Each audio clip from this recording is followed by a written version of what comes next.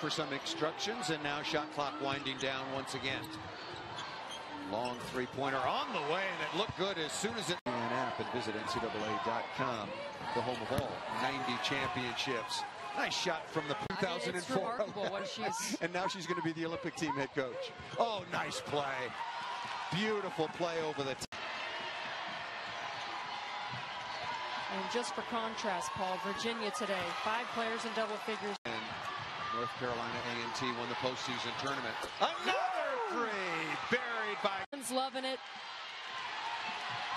Kala Green, number 21, with the hot hand, back-to-back -back threes. She's feeling it right now. Attacks the basket. Eight quick. Why not let it go? Green for three again.